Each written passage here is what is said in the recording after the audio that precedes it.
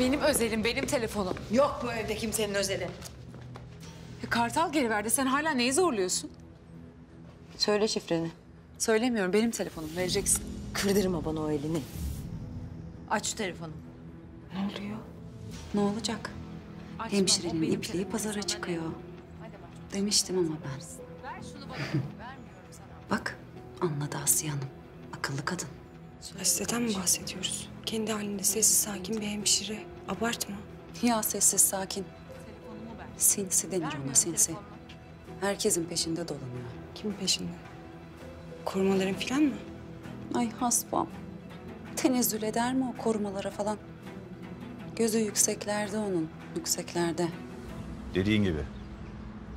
İstihbarattaki adamın bile ulaşamadı boksöre. Adı var, soyadı var. Ama ne ölü ne diri. Hiçbir şey yok. Bu işte bir iş var. Yani çocuk komadayken kendini kamufle edemeyeceğine göre birileri saklıyor onu. Bu ses ne ya? Aç dedim. Açmayacağım. Açabiliyorsan Bitmiyor ki abi, bitmiyor. Ver şu telefonu bana. Vermiyorum. Ver şu telefonu. Ne oluyor? Ne bu rezalet evin ortasında? Fısır fısır telefonda biriyle konuşuyor. Kiminle konuşuyorsun, ne konuşuyorsun diyorum. Cevap vermiyor. Kartal verdi telefonumu. Konuşmayacaksam niye?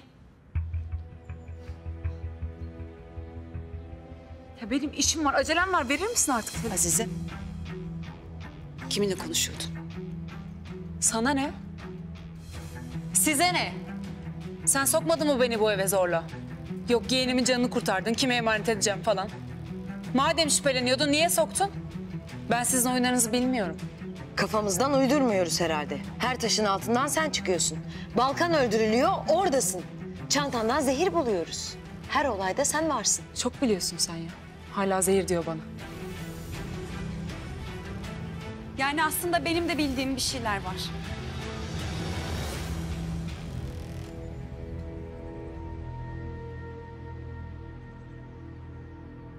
Herkes dağılsın, işinize gücünüze bakın.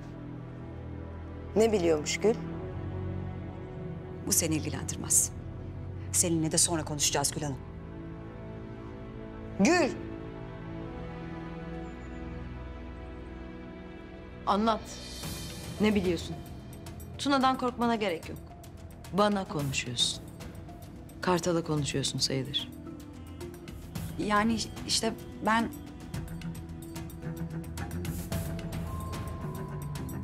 Balkan Bey'i ölmeden önceki gün gördüm. Bunun odasına giriyordu Balkan Bey. Sonra işte aralarında bir şey var gibiydi.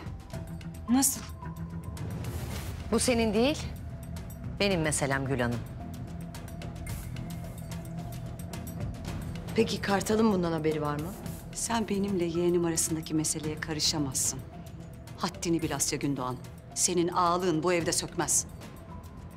Gül, anlat. Ne biliyorsun? Her şeyi. Ya ben anlatayım.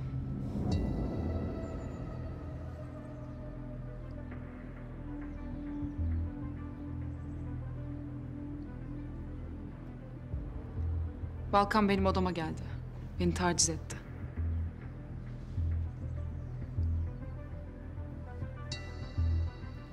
Ben de korktum yüz verdim. Başımdan savdım.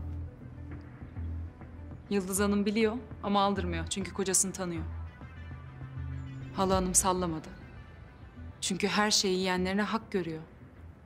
Yani benim verilmeyecek hesabım yok. Ne malum akşam için randevulaşmadığın? Hı? Belki ondan indin hamama, belki ondan oradaydın. Gül! Öyle olmadı.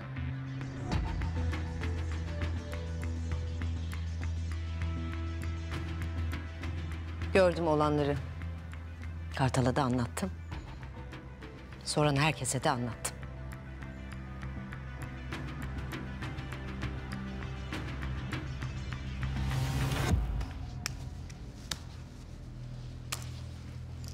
Telefon. Aç şunu. Yeter. Aç dedim. Yeter dedim. Ne oluyor burada? Abi hallediyoruz biz. Hayır halledemiyoruz çünkü beni dinlemiyorlar. Bu gammaz. Ben eminim dışarıya bilgi sızdırıyor. Bu da delil. Asya'yı dinlemiyorsunuz. Ne sıfatla dinleyeceğim ben onu? Ben dinliyorum Asya'yı ben.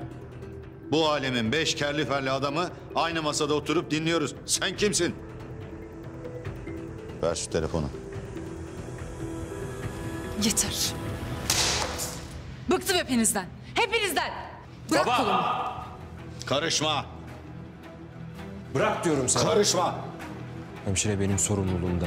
Sen misin bunun sahibi? Kimse kimsenin sahibi değil. Ama kefili benim onu soruyorsan. O zaman bu kadın yüzünden başımıza gelen her şeyden seni sorumlu tutarım. Bunu bil ona göre davran.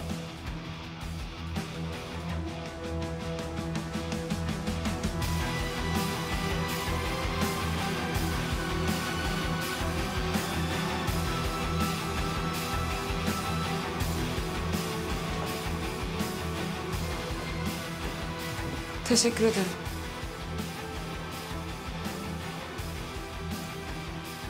Geç.